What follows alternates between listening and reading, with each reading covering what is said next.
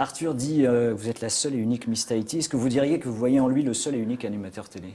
Ah, c'est un très grand animateur télé et euh, j'admire et je suis très fière de son parcours euh, au quotidien. C'est vrai qu'il a un parcours exceptionnel, pas que dans la télé, mais si on prend ce domaine, je ne sais pas combien d'années, ça doit faire 25 ans, je crois qu'il est à l'antenne à peu près, et c'est un parcours assez incroyable.